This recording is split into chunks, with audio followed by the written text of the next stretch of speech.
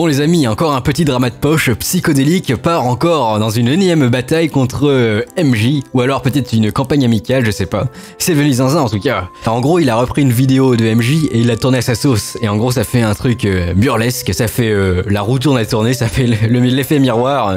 celui qui le dit qu'il l'est, et c'est hilarant, c'est hilarax. Et MJ a mal réagi, c'est ça l'origine du clash. on va voir vite fait sa vidéo. clairement, de but en blanc, je viens d'avoir un orgasme sur une vidéo d'MJ. J'ai besoin d'un remontant. MJ a sorti une dernière vidéo qui est assez intéressante, qui est même très intéressante, elle est très très très, très intéressante. Et il y tient un discours extrêmement anti-progressiste, anti-woke et dénonce cette dérive. Et il le fait tellement bien Je suis totalement d'accord avec lui sur plus du trois quarts de la vidéo. C'est ouf Mais quel, quel génie euh. C'est lui le génie en fait, on va voir vite fait. Et ça on l'a vu plein de fois. Écoutez celui-là, 328. Le populaire. Mais c'est là qu'entrent les évangélistes. Les évangélistes. Pensez, progressiste, woke, euh, mafia de l'alphabet, Baitso, SJW, et CSJW, tout ça. Bezou, une branche plus fondamentaliste de la religion chrétienne, très présente et influente aux États-Unis, surtout politiquement. Et pour eux, tout ça, c'est toujours pas assez religieux. Limite, ils ont peur qu'un truc comme Harry Potter leur prenne leur part de marché.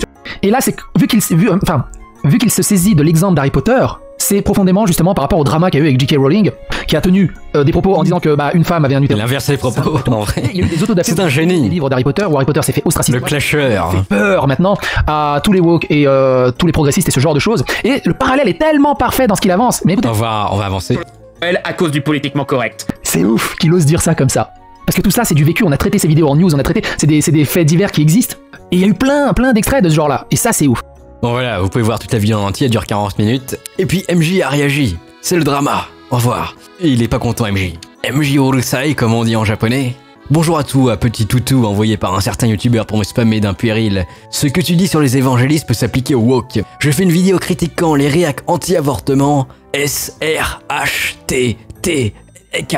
Et vous, vous y voyez une critique des woke Dans ce cas, vous confirmez... Ah, attendez, il y a trop long, j'ai la flemme de lire. Une ignorance totale en ces sujets et la signification de ces termes en mettant dans le même panier des choses qui n'ont rien de comparable ah, c'est vrai, c'est le camp du bien. que dans les méthodes employées.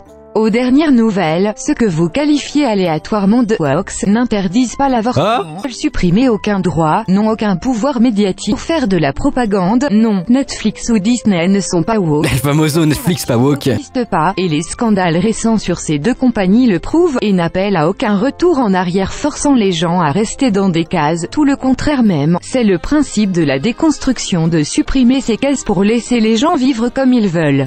Donc du coup, Netflix n'est pas woke. MJ confirme, c'est confirmé. Votre puérilité en balançant sans réfléchir un argument qui équivaut à un, c'est celui qui dit qui est, tel des gamins de maternelle prenant mal une critique et essayant de s'en défendre, confirmant indirectement que vous êtes les que je critique dans cette vidéo. Oh Bah du coup c'est celui qui dit qu'il est mais aussi ça fait un méga celui qui dit qu'il est parce que tu dis aussi donc ça fait l'inception en fait. Que j'ai raison quand je dis que la panique morale montée de toutes par les médias sur la culture woke n'est qu'une façade pour planquer la vraie invasion culturelle, celle des réacs de l'alt-right américain, vu ce que vous utilisez ça justement pour planquer tout dick là-dessus, pour détourner maladroitement l'attention sur les wokes qui sont loin d'avoir le même niveau de danger. Mm autre. Que vous êtes un groupe toxique, une horde incapable de réfléchir individuellement, répondant à un leader irresponsable voulant détruire tout ce qu'il aime pas en leur collant au pif et que vous n'avez que ça à faire de votre vie. Merci de vous casser pour m'enlever à moi et mes modérateurs la charge de vous bloquer. Oh mon dieu, les heures les plus sombres, Darkest Hour, euh, bloquer euh, les commentaires, euh, ça me rappelle les heures les plus sombres. Et voilà, c'était le drama psychodélique. MJ encore une fois. Ce troll de génie de la part de Psycho. Les SJW critiquent chez les conservateurs ce qu'ils font eux-mêmes. Psychodélique à son apogée, du grand art, masterclass simplement mérité. C'est trop drôle, le troll fonctionne bien. Et moi, bien sûr, je suis quelqu'un qui est neutre et impartial, donc je vais prendre la défense de MJ. Et oui, moi je tape pas sur les fragiles, ils sont des. Alors moi je sais pourquoi Psychodélique est jaloux de MJ, déjà regardez. Sûrement Psychodélique est complexé, il se trouve pas très beau, regardez, MJ c'est un BG absolu à côté donc forcément il doit rager Psychodélique. En plus Psychodélique n'a pas d'enfant ni de femme, du coup il doit encore plus rager, c'est pour ça. Et en plus il n'a même pas de travail je suis sûr à côté Psychodélique, donc c'est pour ça qu'il doit rager sur MJ. Ça va être ça. Et vous qu'est-ce que vous en pensez? Est-ce que Psychodélique est un rageux? Moi je sais pas, je pose juste des questions. C'est le Consul Patton, elle est plus à Mogus.